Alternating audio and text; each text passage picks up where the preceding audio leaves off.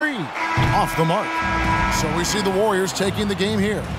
Coach, they're going to take this road win. The fans here tonight will leave disappointed, but for the visiting team, a big one. They stayed sharp when it counted and were able to gut out a win. And that'll do it, folks. For our terrific reporter, David Aldridge, along with Clark Kellogg and Mike Fratello, I'm Kevin Harlan saying thank you for tuning in tonight. We'll see you next time. Have a great evening.